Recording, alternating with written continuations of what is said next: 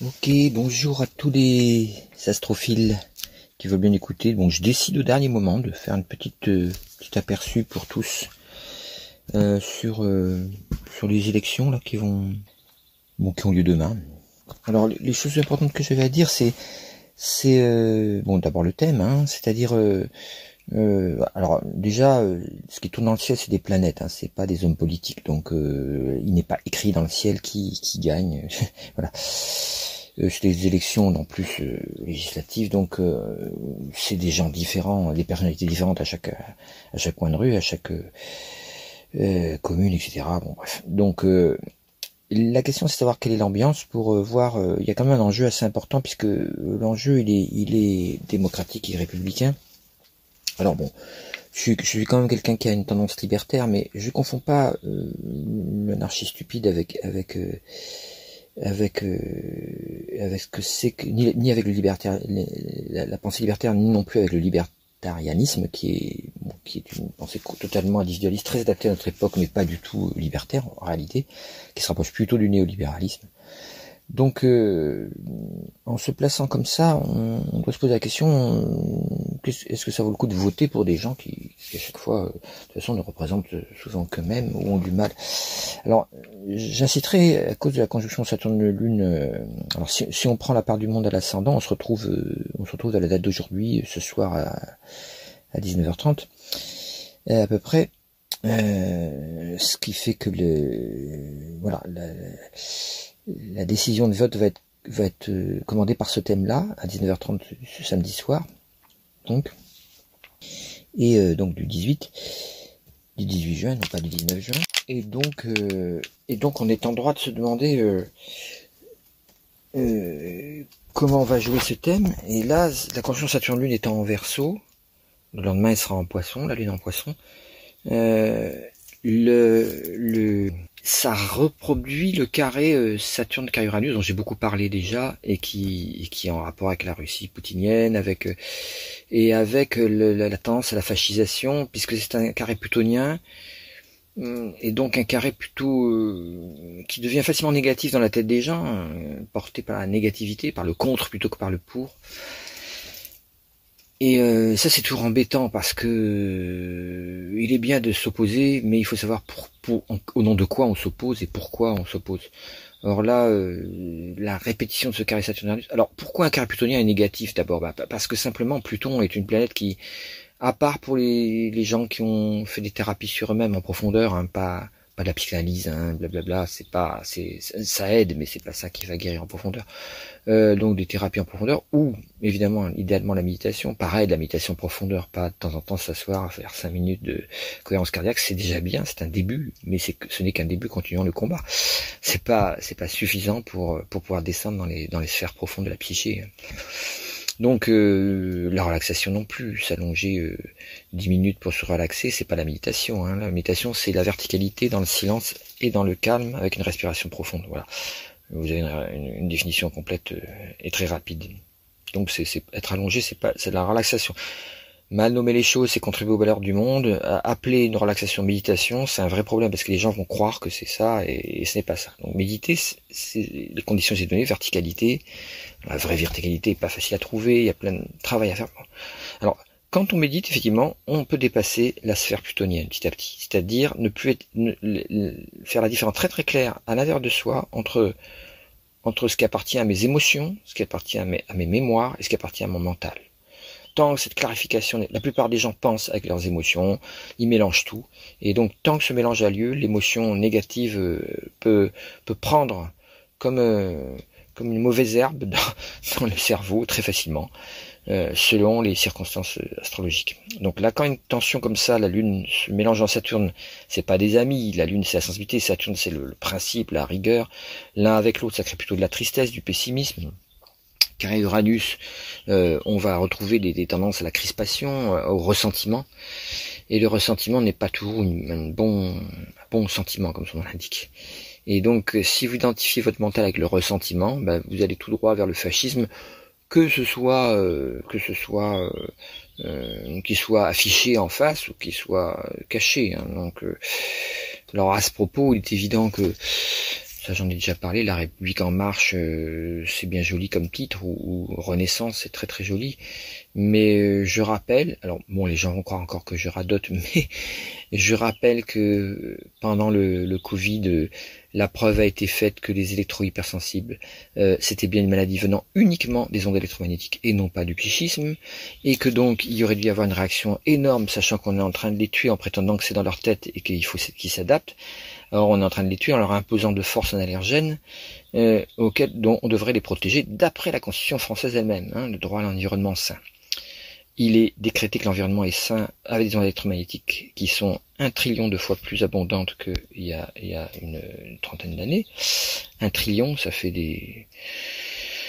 Un, avec je sais plus combien, du 12 zéros, je crois, je me rappelle plus trop, mais enfin bon, c'est, c'est, c'est une somme, c'est une quantité énorme. il est évident qu'on est en train de, de faire chuter le, le QI euh, général de l'humanité partout où ces, où ces, antennes sont installées et, et, et créer une cancérisation générale et peut-être l'apparition de virus qui auront une, une piste d'atterrissage extraordinaire avec cet affaiblissement total immunitaire par des champs électromagnétiques qui, perturbent et qui peuvent même détruire les champs électromagnétiques naturels, non pulsés donc, naturels, qui sont générés par le corps, par tout corps humain vivant.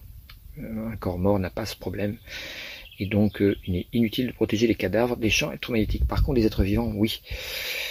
Euh, étant donné que la médecine actuelle considère l'être humain comme un cadavre qui se déplace, puisqu'il n'a pas d'énergie, il n'a pas de champ vibratoire, il n'a pas de champ électromagnétique, alors qu'on les mesure avec l'IRM, on sait très, très bien qu'ils existent, mais on veut le nier, parce que ça, ça, ça foutrait en l'air toute la médecine chimique euh, actuelle. Donc on veut le nier, c'est de la mauvaise foi totale, c'est la fake news euh, scientiste totale, mais on le nie, et c'est grâce à ça qu'on peut vendre beaucoup de médicaments ou de vaccins, etc., euh, qui sont parfois nécessaires, mais la plupart du temps inutiles, puisqu'il y a d'autres moyens, en, utilisant l'énergie, euh, en particulier le psychisme et l'énergie, pour, guérir de beaucoup de maladies. Bref, il ne s'agit pas de, rejeter la médecine telle qu'elle est. Si vous vous coupez une main avec une scie sauteuse et vous la mettez dans la glace et vous la portez à l'hôpital, il y a des chances que vous récupériez votre main, ce qui est une prouesse extraordinaire de la chirurgie actuelle, que va pas faire euh, l'homopathie ou, Par contre, euh, si le Reiki est remboursé par la sécurité sociale suisse, c'est parce qu'ils ont fait des expériences scientifiques, ils ont bien vu que euh, que ça accroissait, ça multiplie par deux les chances de guérison de n'importe quelle maladie. Donc euh, en France, on est très très en retard. Il y en a qui ricanent dès qu'on dit ça, qui s'imaginent que c'est que pas scientifique, alors que c'est eux qui, qui, une science qui date de l'époque de Pasteur et qui n'a rien à voir avec la vraie science, qui continue d'avancer malgré ces ces tristes cires en blouse blanche, qui se prennent pour des scientifiques parce qu'ils ont une blouse blanche. Je rappelle, la blouse blanche, c'est pour empêcher les, projections chimiques quand on fait des expériences. Ça ne prouve pas que vous êtes un scientifique, ça prouve simplement que vous travaillez dans le domaine des techniciens ou ça. Euh, le vrai scientifique, c'est quelqu'un qui est capable de rechercher la vérité à travers, la, à travers euh, tous les phénomènes existants. Or, beaucoup de gens en blouse blanche ne répondent pas à cette définition. Du tout, du tout. Alors, donc, si, si l'EHS est, est, euh, est, est, vu par la science réelle euh, les travaux du, du docteur Belpomme sur euh, Artax le prouvent parfaitement, comme venant uniquement d'une perturbation sous forme de forme d'allergie nerveuse à les ondes électromagnétiques, on est bien dans une nécessité de protéger ça. Or, on ne le fait pas. Donc ça veut dire que, et on ne le fait pas depuis qu'on le sait euh, de manière sûre et certaine, c'est-à-dire en 2020. Donc ça veut dire que M. Macron n'est pas un démocrate, parce qu'il ne respecte pas la Constitution de la France. Et donc si vous voulez faire un front républicain, euh, vous devez éliminer tout ce qui est d'extrême droite. Or, l'extrême droite affichée, c'est Marine Le Pen, l'extrême droite cachée, euh, sirupeuse, euh, séductrice, c'est Emmanuel Macron. Alors, ça peut être une affirmation due à mon opinion. Je déteste ces opinions, donc je, je parle uniquement à partir de l'astrologie. Que ça se voit très très bien sur le thème d'Emmanuel Macron, qui crée à l'intérieur de la Ve République. Il a gardé les avantages de la Ve République, c'est-à-dire l'idée d'une espèce de monarque républicain, mais il a rajouté des éléments euh, au moment où il a été élu qui fait qu'on est rentré sans le dire et sans passer par l'institution qui permettait de changer la Constitution, on est rentré dans une sixième République. Alors tout le monde voudrait une sixième République, au nom des citoyens, tout ça. Euh, attendez, ce que vous réclamez, c'est une septième république. La septième république, elle est déjà en place. C'est la république des lobbies. Vous avez entendu parler de, de, la coquinage de Monsieur Macron avec, euh, avec euh, les, cabinets de conseil euh, américains. euh, le fait qu'il ait fait une école également américaine de formation, qu'il ait été formé dans des banques américaines, ce monsieur est complètement au service de lobby américain, bancaire, et, euh, et, le, scandale, de, c'est pas le prix de, de, de, cabinet de conseil euh, américain qui est le problème, bien que ce soit très très cher évidemment, pour remplacer les fonctionnaires français, mais euh, euh, c'est le fait que ces cabinets ont une idéologie euh, néolibérale, et si vous vous reportez au quatre de l'Apocalypse, que j'ai vous ai déjà décrit dans un dans un dans un enseignement précédent, on a quelqu'un qui, relie le destin de la France au, au destin des États-Unis de manière trop étroite, et non pas au destin de l'Europe. C'est-à-dire qui essaye de faire rentrer dans l'Europe toujours avec l'appui des Américains, le cheval de Troie qui est le néolibéralisme absolu, qui est représenté par le pays États-Unis, mais qui n'est pas les États-Unis. Hein. disons que les États-Unis sont construits autour de ce néolibéralisme euh, absolu. Alors, euh, l'étatisme protecteur à la française, c'est le propre de la France, euh, euh, disparaît pendant cette sixième République, ce qui fait que des gens malades sont mis en phase d'expropriation, de, déportation et petit à petit d'extermination, par le simple fait qu'on leur refuse le droit à l'existence scientifique de leur maladie. Et pour cela, on les tue concrètement, puisque, puisque si, on les, si on les oblige à s'exposer, c'est bien ce qui se passe, on les oblige à rester exposés aux ondes, on interdit qu'ils aillent dans des endroits où il n'y ait pas d'ondes, euh, sous prétexte de telle loi euh, du, du, plan local d'urbanisme ou administratif, et, euh, et on, on les, on, on, interdit même qu'ils accèdent à aucun endroit de... Bon, par exemple, moi, j'ai pas le droit de vote, hein, j'ai absolument aucun droit de vote, puisqu'il faut, si vous voulez faire une procuration, il faut aller dans une gendarmerie, et dans une gendarmerie sont équipés de la même manière d'ondes électromagnétiques par les Wi-Fi, tout ça. Donc, euh, je peux, j'ai pas le droit aux soins dentaires, j'ai pas le droit d'aller dans un cabinet médical, j'ai pas le droit d'être hospitalisé. Si je suis hospitalisé, j'ai un énorme risque de, de, de sortir les deux pieds devant. Donc c'est une négation totale de tous les droits humains qui a été, qui a été instituée sous la République euh, macronienne. C'est à savoir et à se rappeler. Donc, alors regardons un petit peu. Bon, le thème de Macron, j'en avais déjà parlé, mais, mais c'était surtout en privé, ça n'a pas été enregistré. C'est un thème euh, avant tout, on pourrait dire, d'un séducteur, d'un acteur séducteur. Bon, vous l'avez compris, il fait jamais ce qu'il dit, mais ses paroles sont extrêmement séductrices. C'est un mercurien, son dharma c'est Mercure.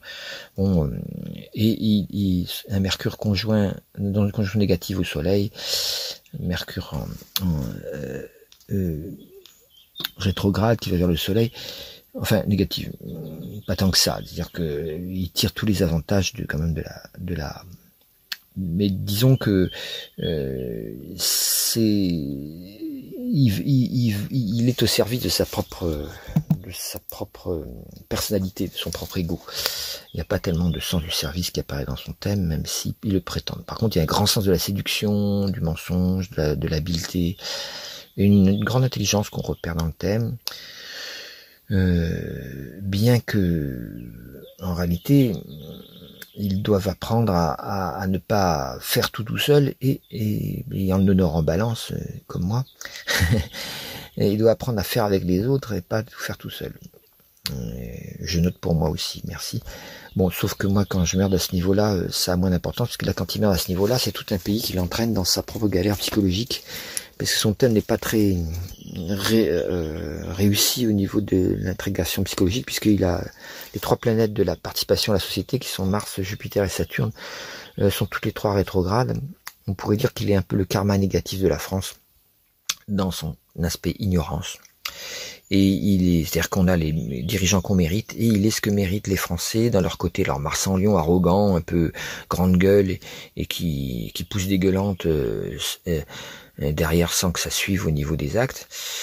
Euh, voilà, ça c'est Marsan. Saturne en Vierge, le côté extrêmement administratif, euh, ENA, tout ça. Euh, il est issu de, cette, de ces écoles où tout est réglé par des experts euh, qui se croient des experts mais qui, n'ont aucune connaissance du terrain. Donc c'est pas des experts du tout en réalité. Et Jupiter rétrograde en cancer, le côté euh, sympathique, petite tape dans le dos, façon Sarko et tout ça, qui font croire au brave peuple. bon, Chirac il tâtait le cul des vaches, le salon d'agriculture. Enfin, c'est cette, c'est cette espèce de, de, de, de, de tendance à à un petit peu avec un ton euh, patelin, amusé, et avait un certain sens de l'humour, une capacité à se faire bien apprécier du, du peuple français. Faites-les rire et vous les aurez dans leur poche, dans votre poche, comme disait, euh, voilà. Je sais plus qui disait ça d'ailleurs, pas de Gaulle. Ouais. Euh, il était pas rigolo lui. Hein. Euh, mais il avait des traits d'humour euh, assez profonds. Bref, donc euh, ces trois planètes qui sont du côté du descendant, toutes les trois, dit qu'il il, il a bien la fonction représentative par rapport au peuple, il s'adresse au peuple français avec cette fonction représentative, mais son ascendant Capricorne montre qu'il est surtout intéressé par le pouvoir. Alors si on regarde le thème du Mélenchon rapidement, c'est fait à toute vitesse, hein, ça n'a pas une grande valeur, il faudrait étudier, mais bon, je sais jamais le temps dont je dispose de vie encore, puisque ce que j'ai dit sur sur la mise à mort progressive des, des, des EHS me concerne très directement, puisqu'il y a une antenne qui doit s'allumer sans aucun débat démocratique, euh, juste à côté de là où je me suis réfugié pour la quatrième fois pour échapper. Donc là, je pourrais plus échapper si, si, si elle s'avère trop forte. Elle a été déjà allumée quelques jours, elle s'est avérée beaucoup trop forte pour ma résistance physique. Donc euh, normalement, il devrait être interdit qu'elle s'allume, puisqu'elle elle va constituer à tuer euh, au moins trois personnes. Euh, qui, qui, qui, qui, sont venus se réfugier dans ce coin qui n'est pas une zone blanche, qui est une zone gris très claire, donc qui n'a normalement pas besoin d'antenne de, en plus, mais il s'agit apparemment d'éliminer les, les, les, dernières résistances, de faire disparaître des endroits sans ondes pour qu'on ne puisse plus dire tiens regardez ces gens-là se sentent beaucoup mieux quand il n'y a pas d'ondes, ils sont en bonne santé. Et il faut il faut plus que ces preuves-là existent, donc on les fait disparaître. Il s'agit bien d'actes criminels et, et, mafieux. Et donc euh, le, le front républicain doit fonctionner. Parce que si vous laissez passer des gens qui sont qui ont qui ont pour objectif afficher le fascisme comme Marine Le Pen ou cacher le fascisme, c'est-à-dire euh, euh, Macron, euh, qui, qui, qui, est donc dans un espèce de terrorisme d'État. Le fait que qu'il y, ait à une époque où on avait déjà arrêté toute la France au moment du Covid, en bloquant tout, en l'économie, tout ça pour sauver des vies, soi-disant, sauf qu'il y avait, il y avait plus de morts venant de l'EHS que, que du Covid au moment où on a fait tout ça. Alors quoi, euh, il y a bien deux poids deux mesures. Alors quelle est la différence? Pourquoi pourquoi sauver des vies? Ben, La différence c'est que dans un cas le lobby, euh, c'est le lobby pharmaceutique, il faut vendre des vaccins. L'autre côté le lobby, il est c'est les FAI. Les FAI possèdent tous les médias pratiquement, pratiquement tous. Hein. Il, y a une, il y a la canard enchaîné ou deux, deux trois petites exceptions euh, assez rares. Euh, ils possèdent tous les médias d'une part, et puis d'autre part, ils n'ont pas du tout envie qu'on dise que cette maladie vient vient de leur de leurs actes mafieux, puisqu'on peut très bien, comme en Suisse, mettre des antennes 100 fois moins fortes et, qui, et tout le monde aurait un bon service euh, avec son portable et on et on, tuerait personne. Non, non, ça, ça coûterait trop cher. Donc, euh, il s'agit bien de décisions mafieuses. Donc, euh, alors, qu'est-ce qu'on a en face? On a la Nupes. Alors, les, gens répondent ah Mélenchon ne mettait pas Mélenchon, mais c'est pas Mélenchon. C'est une union faite entre la France insoumise, euh, les, les, écolos, les communistes, les divers gauches, enfin, bref, c'est une, c'est un retour de l'union de la gauche. Alors, je me rappelle, parce que je suis assez vieux pour avoir vécu, quand j'étais jeune, euh, j'avais 22 ans, l'accession de Mitterrand au pouvoir, qu'est-ce qu'on n'a pas entendu sur les chars soviétiques qui allaient débarquer dans Paris, etc., euh, et que ce programme était complètement révolutionnaire, et donc antidémocratique et, et, et extrémiste, c'était l'extrême gauche. Euh, si on lit le programme de l'extrême gauche mitterrandienne avec l'extrême gauche euh, malgré tout ce côté grande gueule qui, du fait qu'il est un peu pied noir, parce qu'il est né au Maroc, hein, je rappelle, euh, c'est des grandes gueules, il est beaucoup moins radical que le programme de Mitterrand à l'époque. Donc on nous raconte des sornettes, et je rappelle que dans les deux trois premières années de l'ère mitterrandienne, le peuple a été beaucoup plus heureux. Il n'y a pas eu écroulement de l'économie. Il y a eu des, on a tout tordu le bras dans le dos de Mitterrand pour qu'il réintroduise euh, un système euh, hayekien à la place d'un système euh, euh, keynésien alors que c'était l'énorme erreur à l'époque, mais il fallait suivre. Donc il s'est adapté pour faire l'Europe, mais euh, c'était sûrement sa trahison principale. Mais euh, tant qu'il a mis ses lois sociales ça en place, on est passé d'une vie qui était infernale pour le peuple, enfin infernale, tout est relatif. Hein, si vous comparez à des pays euh, africains ou à la Somalie, évidemment, il n'y a vraiment aucun rapport. Mais par rapport à la capacité de richesse de la France, c'était infernal pour tout le peuple, les étudiants, les, jeunes, voilà, à quelque chose de vivable pour tous. Et qui a bloqué la société française sur quelque chose qui est une société assez vivable grâce à, ces interventions qui ont été faites par, par la gauche mitterrandienne au moins jusqu'en 83-84, tournant de la rigueur, qui, était le, bras tordu dans le dos par les néolibéraux qui ne voulaient pas d'une tâche socialiste sur leur grand programme euh, néolibéral. On sait ce que ça a donné, euh, une accélération des, profits chez les plus riches et une accélération de l'appauvrissement chez les plus pauvres. Euh, donc pas du tout le programme d'enrichissement général qui était annoncé, le fameux ruissellement qui n'a jamais fonctionné. On le sait maintenant par les travaux. Bon, les travaux de Piketty ont démontré ça scientifiquement, hein, ça ne marche pas. Donc on, vous recommande toujours un, programme euh, politique pour, euh, pour la France entière qui ne marche pas et c'est prouvé scientifiquement. Donc, euh, si on prend le thème de Mélenchon, on voit que c'est quelqu'un qui a une forme d'agressivité, mais quelqu'un qui a un très grand cœur. Il a une en poisson, il est, assez, il est très sensible. Il a une dominante de Vénus et Mercure. Euh, donc, euh, c'est quelqu'un qui, qui déjà euh, n'est pas. Alors, on va, on va retrouver des ressemblances avec le thème de Macron, Mars en Lion aussi. Donc, c'est un combattant. L'ascendant fin, signe de terre. Euh, donc, quelqu'un qui a un côté concret, une intelligence très très grande aussi euh, euh, qui, est moins euh, quelquefois son analyse est moins fine hein, mais il a il a il a il a un art des détails très grand aussi. Et puis la dominante échironienne c'est quelqu'un qui peut libérer guérir en fait les choses dans dans dans le dans les processus qui de voilà qui sont en route son dharma chironien alors que le dharma de Macron est mercurien. Donc c'est l'habileté chez Macron, euh, la, guérison, les solutions guérissantes pour euh, Mélenchon. Alors la, présence de Cérès ou de Chiron, qui sont les outils de gouvernance dans des signes qui, qui où ils sont pas à l'aise, me demande de, lui demande de faire un certain travail de remise en question sur lui-même. Est-ce qu'il le fait? Je ne sais pas. Ça, c'est, c'est, en tout cas, il s'agit pas de délire Mélenchon, mais je tenais à rappeler son thème parce que c'est rapidement, parce que le fait qu'il ait une en poisson qui, est une dominante comme ça indique que c'est quelqu'un qui a de la compassion. Donc, euh, quand il veut servir le peuple, contrairement à Marine Le Pen, il n'est pas au service de son propre, de sa propre élection. Il est bel et bien au service du peuple, euh, ce qui fait une, différence avec euh, avec le thème de Marine Le Pen. Bon, voilà. donc, il s'agit, à mon avis, d'aller d'aller voter pour au moins créer un débat dans le Parlement. Et ce débat, il sera toujours mieux avec des gens qui, défendent le peuple que avec des gens qui défendent euh, des théories euh, fascistes dissimulées sous, un aspect euh, populaire, comme le fait Marine Le Pen, qui est un mensonge un mensonge avec beaucoup de bonne foi, puisqu'elle elle a, elle a beaucoup de bonne foi, mais elle est névrosée, puisqu'elle est complètement dépendante de son père, enfin on le voit dans le thème, ce qui fait qu'elle trimballe une idéologie qui ne devrait pas du tout être la sienne si elle avait su faire euh, un, changement intérieur. Elle, elle a un sacré caractère, elle, elle est très idéaliste, ce qui trompe énormément parce que elle, euh, on le voit quand elle, quand ces, ces sbires sont élus, ils ne mettent pas du tout en place quelque chose qui est, qui est bon pour le peuple. Euh, il y a donc un mensonge qui est dû non pas un, un mensonge calculé, euh, habile, euh, pernicieux comme comme Macron qui est qui est, est l'année du serpent de feu avec un compagnon de route le serpent, c'est un double serpent quoi, euh, qui donc qui, qui ment consciemment, il sait que ce qu'il dit c'est des mensonges et il, joue la comédie puisque c'est un très grand comédien, très bon, il aurait dû faire du théâtre plutôt que, que président.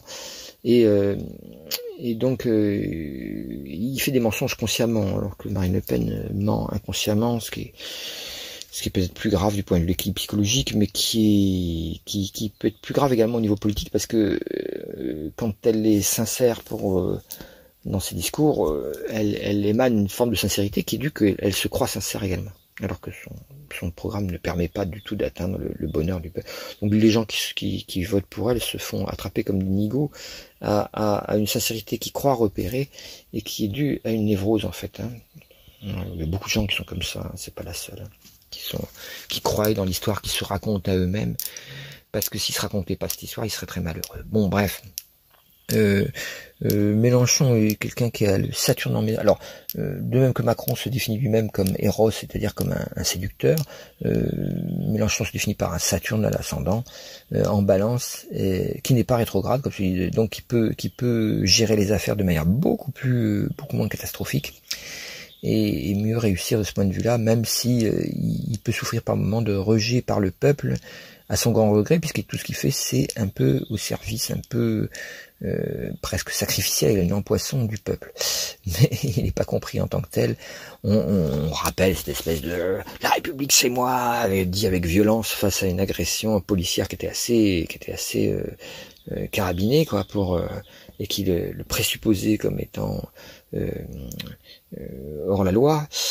Et, il rappelait évidemment par là qu'il avait des droits en tant que député il, il se prenait pas pour la République, mais face à quelqu'un qui dit c'est au nom de la République que je viens vous arrêter et vous et, et vous et, et, exercer euh, un, mandat, euh, il rappelait que la République c'est lui, c'était lui aussi. Il aurait dû dire c'est moi aussi, mais bon, il a dit c'est moi, emporté par la colère de se voir traité comme un comme un, brigand alors qu'il défendait simplement des droits citoyens en tant que représentant du, du peuple élu. Bon, alors, ce, je dis pas tout ça pour l'excuser, mais c'est dingue comment ce petit bout de phrase sorti de son contexte a fait de lui un, homme méchant, alors qu'il est simplement, comme tous les pieds noirs, j'en, euh, j'en connais une de près, euh, enfin plusieurs, même j'en ai connu. Euh, c'est des gens qui sont, qui crient très fort, mais qui sont pas méchants. Hein. c'est comme les, petits chiens qui aboient. Donc euh, ça fait deux dégueulards, mais, mais, mais bon, pas forcément, on voit Aurélien Poisson, c'est quelqu'un qui a au contraire une grande sensibilité à l'autre. Voilà pour établir l'image, donc une très belle image du côté de Macron, avec derrière un, programme qui est, on pourrait dire, puant, et l'autre côté une image un peu déplorable, parce que c'est quelqu'un qui, qui réagit violemment aux frustrations très souvent mais avec un, un, grand cœur qui est, qui est Mélenchon. Bon, voilà. Alors sachant que la Nupes c'est pas Mélenchon, je rappelle que c'est une union de, une union momentanée de la gauche. Euh, alors quand on regarde le thème actuel, ben, on, voit que Jupiter va vers Bacchus, on va à nouveau vers un épisode euh, où la, le pouvoir absolu euh, de la violence peut être mis en avant à nouveau, et ce dans l'année qui vient. Donc euh, je m'inquiète beaucoup des, des, des, des éborgnés, 30, 32 éborgnés, je sais plus combien de, mains arrachées pendant les gilets jaunes. On va vers une violence euh, à nouveau euh, si, si si à nouveau c'est le menteur qui arrive à rester président puisqu'il a été nommé, mais si c'est si ces mensonges qui dominent absolument l'Assemblée nationale, on n'aura aucune autre, on n'aura aucune sortie à part de la violence partout. Il a déjà acheté des, des, espèces de véhicules de guerre anti-émeute. Euh, plus euh, des stocks de LBD, alors qu'on devait interdire cette grenade, étant donné qu'elle est, c'est une grenade qui devrait être utilisée uniquement pour la guerre ou pour des émeutes euh, dangereuses et violentes. Or, elle a été utilisée contre les manifestants euh, pacifiques. Ce qui est honteux, on voit très bien le programme fasciste derrière l'apparence doucereuse de, ce, roi philosophe qui, fait semblant d'être. Jupiter, il n'est pas du tout jupitérien. Hein. Quand on regarde Jupiter dans son thème, il est plutôt en piteux état, mais en exaltation, c'est-à-dire mis en avant pour des raisons. Et ce Jupiter rétrograde va vers la lune noire en Gémeaux. La lune noire dans un cadre d'un thème où il n'y a pas de méditation, il n'y a pas de travail sur soi, il n'y a pas de thérapie, hum, c'est pas forcément de bon augure. Et ça s'oppose à ce soleil qui lui est très très brillant avec Ève, le point opposé à la lune noire qui s'appelle Ève, qui est complètement conjoint au soleil, ce qui veut dire qu'il a une facilité, une nature solaire euh, qui, rayonne surtout, qui, surtout ceux qui l'approchent. Il se sert abondamment de ça pour être, pour être une image euh, pour porter l'image de quelqu'un de, de, sympathique, de bon, d'inspiré, d'intelligent, tout ça. Alors l'intellect est très très bon, hein, mais l'intelligence globale étant l'intelligence du cœur unie à l'intelligence mentale, c'est la définition que donne la spiritualité. Eh ben il en a, il n'en a pas beaucoup d'intelligence globale. Il a, une, il a un intellect euh, scientifique très fort pas tant que ça, puisque s'il si, si, avait euh, vu ce qui se passe avec le Covid et, puis les grands savants français comme euh, comme professeur Raoult ou le, le professeur, euh, ça je me rappelle plus son nom, directeur de recherche NRS, je me rappelle son, j'avais déjà donné son, son nom, mais je l'oublie, j'ai très peu de mémoire des noms. Eh bien, eh bien, il aurait su qu'on avait l'avantage en France d'avoir une, des très bons médecins, des très bons chercheurs surtout, et il aurait pu les écouter. Or, il a écouté que son cabinet de conseil américain qui était au service évidemment de Pfizer, Moderna.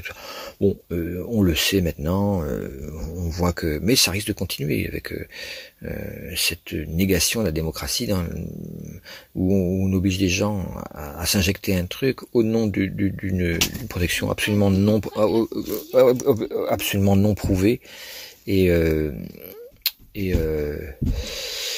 et donc, euh, il n'est pas plus prouvé. Euh, enfin, si, il est plus prouvé que l'ivermectine agit mieux que, que, que, que, le vaccin. Mais il fallait pas parce que c'était des investissements énormes. Et donc, fallait. Bon, vous connaissez toute l'histoire. Si vous écoutez Louis Fouché sur euh, sur Internet ou sur Telegram, c'est ces trucs-là où je peux pas moi-même aller. les écouter, j'aurais bien aimé.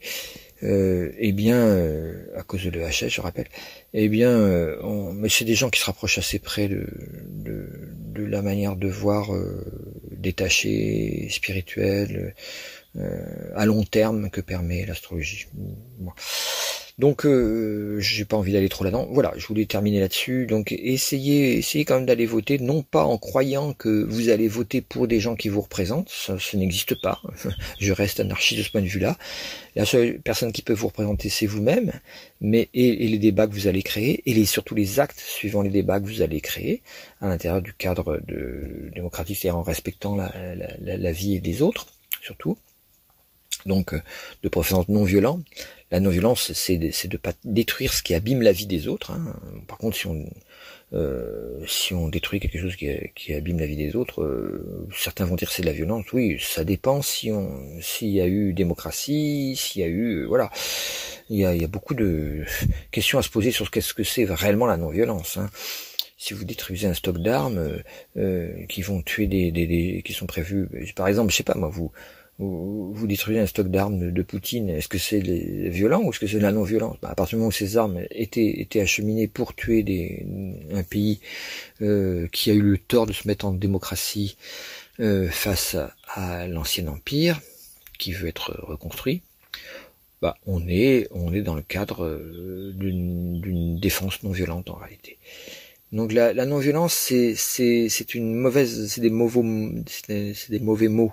C'est ne pas nuire. Ahimsa, ça vient du mot ahimsa. La non-violence a été inventée par Gandhi, ça vient du mot ahimsa, qui en sanskrit veut dire ne pas nuire. Donc euh, l'acte de, de, de, de mécontentement, de l'acte qui, qui, qui permet de lutter contre un système oppresseur, doit être doit être fait de manière à ne, nuire à personne.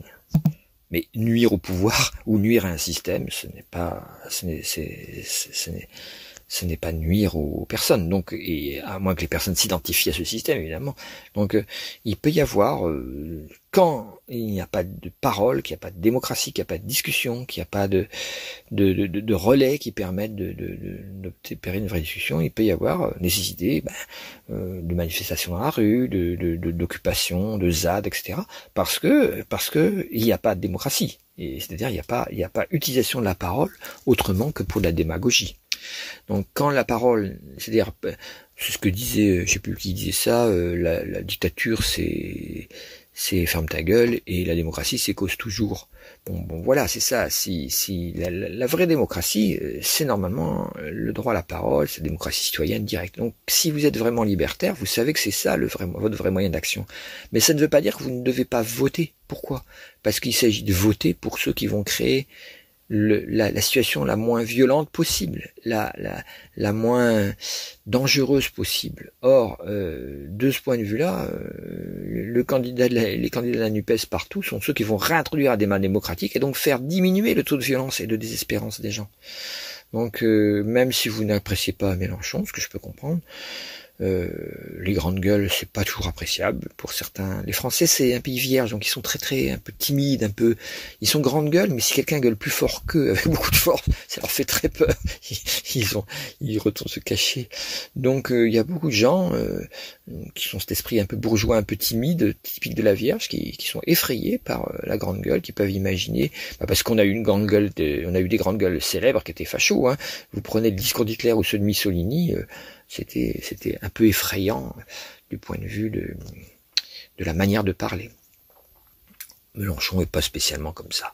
Bon bref, euh, donc tout l'art du, du, grand serpent démagogue et de et euh, actuellement au pouvoir et de faire croire que c'est un extrémiste alors que c'est lui l'extrémiste euh, du centre, extrémiste du centre certes, mais, mais plutôt extrémiste de droite dans la réalité, dans les discours quoi, mais extrémiste de droite dans les dans la réalité. Voilà, bon, mais je, je, vais arrêter là. Donc, euh, votez non pas pour ceux en qui vous croyez, votez pour équilibrer euh, la santé euh, démocratique de votre propre pays, parce que quand vous vous abstenez, c'est parce que vous êtes dégoûté, ce que je peux parfaitement comprendre. Mais ceci dit, vous permettez à des gens complètement inspirés par des forces négatives de pouvoir de eux aller voter et de et de prendre et de prendre euh, votre vie en otage d'un système parce que les systèmes politiques sont absolument nécessaires à réformer. Si on veut aller le grand sujet j'en ai pas parlé c'est le changement climatique. Le seul aspect positif qu'il y a dans ce thème actuel alors il est très beau actuellement le thème hein, c'est un thème de changement potentiellement intéressant. Mais euh, l'aspect qui joue le plus fortement c'est un trigone entre Uranus et Apollon euh, qui va marquer l'année donc 2022 qui est, qui est marqué par ailleurs par cette traîne, ce, retard encore du carré Saturne-Uranus qui n'en finit pas de se terminer et qui peut faire monter encore les, les, les, les extrémismes de toutes sortes, euh, étatiques ou bien ou bien euh, terroristes, hein, euh, ou les deux à la fois dans le cas de Poutine mais euh, d'un point de vue plus euh, d'un point de vue plus positif, on a un très beau trigone. Alors on a le, dernière conjonction qui a eu lieu, c'était Jupiter-Neptune en Poisson, qui indique qui a créé cette, cette nouvelle union de la gauche, c'est-à-dire que c'est un espoir positif, qui peut être porteur d'illusions en partie, mais enfin c'est pas du mensonge. Hein, L'illusion, on a le droit de l'illusion de, de l'idéal humaniste, euh, même si on se trompe parfois dans un monde qui est extrêmement violent. c'est on a, il vaut mieux se tromper en, en essayant de d'œuvrer pour l'humanisme que d'avoir raison pour le plus fort, comme, font les poutiniens en général. Et euh, quand on voit la souffrance que ça crée dans toute l'Ukraine, c'est horrible. Donc on, voilà, ne, nous trompons pas. L'efficacité n'est pas un but en soi. L'efficacité doit être, au service de moyens, et les moyens, ils doivent être au service de buts. Et quel est le but? Quelle est la motivation? Et là, euh, rappelez-vous que votre motivation, c'est de, de, de, de, permettre que la démocratie, le peu de démocratie qui reste encore, que, que la sixième république macronienne a encore laissé, qu'elle puisse rester vivante. Et pour ça, il faut qu'il y ait des gens euh, dans l'Assemblée qui puissent défendre des, des, des valeurs encore humanistes et non pas des valeurs de démagogie et de mensonge. Évidemment, euh, le meilleur moyen quand vous aurez voté comme ça, c'est quand même d'aller euh, d'aller faire des choses dans votre vie militante euh, par des ONG, par des manifs, par euh, Extinction Rébellion, enfin il y toutes sortes de moyens de de de, de, de ou faisant des stages de permaculture, mais enfin c'est pas la permaculture non plus qui va qui va qui va faire que le système va changer non plus. Hein, puisque quand vous voulez faire, nous on fait la permaculture actuellement sur le terrain qu'on a, on est emmerdé avec des, des, des droits de des droits euh, législatifs de ci ou cela. C'est-à-dire qu'il y a des blocages énormes. Donc c'est bien le système qui bloque tout. Hein, c'est pas. Euh, ceci dit, les, les, courgettes poussent quand même et les potimarrons aussi. Donc euh, il y a ça, la nature aura toujours fini à, toujours le dessus, et c'est ce que cette, cette Trigone Uranus Apollon qui est en vierge, donc nous, nous rappelle que l'urgence actuellement, elle est écologique. C'est, l'écologie n'est pas un mouvement politique, l'écologie n'est pas une appartenance au vert ou pas au vert ou au mouvement de gouvernatoré, l'écologie au centre, tout ça. ça. Non, l'écologie, c'est la condition sine qua non de survie de l'humanité et de vos enfants de, et de vos petits-enfants, pour ceux qui sont plus vieux. Donc c'est pas du tout une, une galéjade, une ah, le GIEC, moi j'y crois pas. Mais attendez, euh, atterrissez les mecs, euh, regardez autour de vous. Les, les, on commence à se rendre compte comme disait mon grand-père, c'est pas comme les deux pieds dans la merde qu'il faut commencer à se rendre compte que ça sent mauvais. Bah oui, là, on commence à avoir des canicules complètement effroyables qui vont tuer plein de, vieilles personnes qui auraient pu vivre euh, tranquillement leur, leur vieillesse. Ouais, ça va tuer des tas de gens qui sont qui n'ont pas de climatisation. Eux, les climatisations vont encore réchauffer plus la planète puisque c'est l'effet que ça. Enfin, c'est une horreur. On est en train de fabriquer une civilisation d'horreur. Or, elle, est, elle est, cette civilisation est entièrement commandée par un système et ce système, système néolibéral qui est appliqué comme comme grille de lecture automatique partout. Euh, voilà, je mettrai sous sous cette sous cette vidéo deux deux liens intéressants. Euh, l'un qui parle d'Alawan Watts, qui, deux liens qui m'ont été transmis par quelqu'un, un ami, Adrien, que je remercie, Euh, et, puis l'autre, donc un qui parle de la philosophie de ce que je partage presque totalement, et, et l'autre qui est un discours d'une de d'élèves HEC. Alors il est en anglais, on en trouve un autre qui est en qui est en français, qui est tout aussi, qui est très bien aussi. Peut-être on mettra les deux pour euh, que vous puissiez vraiment vous rendre compte de l'importance de que l'écologie soit réellement au pouvoir et non pas euh, le nucléaire c'est de l'écologie, ce qui est une, ce qui est une mais une, connerie, mais, mais, mais grave, grave, grave. C'est-à-dire, bien sûr, on est coincé, on va pas, si vous arrêtez sans nucléaire maintenant, vous n'avez plus d'électricité, euh, parce qu'on a tout mis sur le nucléaire. Mais euh, la voiture électrique, le, le, le, le branché sur le nucléaire, c'est pas du tout une solution non plus. Donc il va falloir qu'on vraiment qu'on se bouge les neurones un peu mieux que ça, parce que là, euh, c'est ah oui, on est on, on produit le, moins de CO2 par en brûlant du pétrole que les autres pays, donc on est déjà très en avance niveau écologie la France. Ben voyons. On est le pays le plus en retard en Europe pour les alternatives écologiques, genre éoliennes, tout ça, le plus en retard presque. Euh, sauf des pays, euh, moi je sais pas, on parle pas de, la Hongrie ou tout comme ça. Je, parle vraiment de l'Europe de l'Ouest qui a créé, qui a créé l'Union européenne. Dans tous ces pays-là, on est le plus en retard. Cherchez l'erreur. Voilà. Alors l'excuse c'est ah bah oui, mais on a des centrales nucléaires. On n'a pas commencer à en, démanteler une seule, le prix de démantèlement d'une centrale, le CO2 qu'il faudra pour euh, pour euh, pour euh, créer le démantèlement avec tout, le fric que ça va coûter énorme, c'est une c'est une gabegie incroyable. Et, et, et qui est une centrale qui date des années 50, n'est toujours pas démantelée parce qu'on ne sait pas le faire. Non mais au fou quoi, au fou. Bon, on va trouver le moyen de le faire peut-être, mais euh, j'ai entendu ça quand j'étais élève ingénieur dans les années 70. Donc, euh, j'avais dit, j'avais répondu au professeur de, physique qui me disait ça, ou ça m'étonnerait qu'on trouve le moyen de le faire parce que on s'en sert pour fabriquer l'électricité, donc fabriquer l'énergie, et il nous faudra une énergie énorme pour démanteler. Or, cette énergie, euh, elle, aura été consommée et on ne l'aura plus. Donc, on va se retrouver dans un problème énorme.